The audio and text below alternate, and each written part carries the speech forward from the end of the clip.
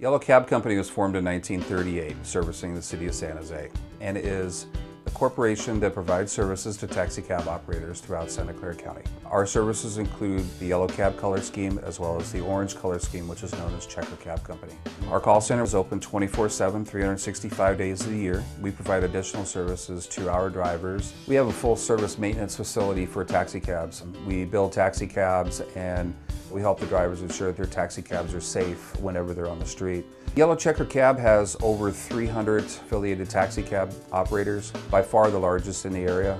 More than 20% of all of the yellow checker cabs operate on alternative fuels. We just think that that's part of, of you know, building a better environment where green cabs are just going to be the future of the taxi cab industry.